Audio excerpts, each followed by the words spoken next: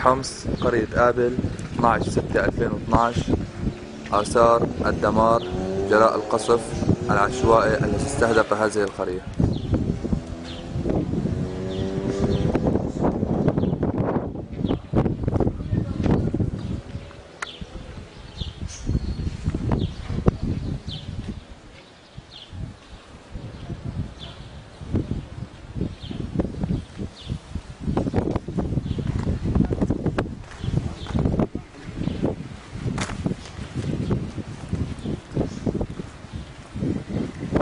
تعرضت هذه السيارة لقذيفة أدت إلى استشهاد سائقها راكان العبد الله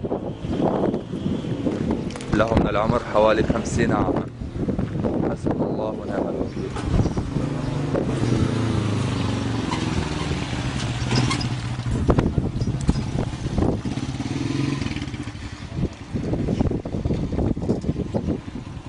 حسبنا الله ونعم الوكيل. استشهد سائق هذه السيارة راكان العبد الله وله من العمر حوالي خمسون عاما. نتيجة تعرض هذه السيارة لقذيفة.